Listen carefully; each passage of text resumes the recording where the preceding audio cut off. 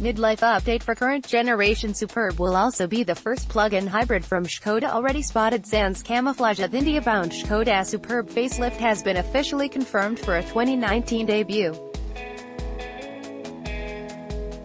This announcement was made by Bernhard Maier, CEO of Škoda Auto, during their annual press conference on the 20th of March.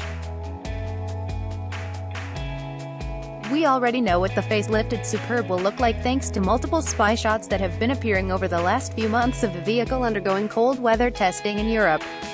The changes are expected to be mostly cosmetic, but will also include new driver assistance systems that have been making their way into various VW family vehicles over the last two years.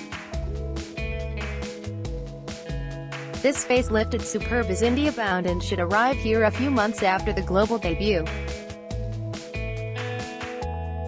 It will be assembled at Škoda's Aurangabad plant where all the MQB models across Audi, Škoda and Volkswagen are produced for India.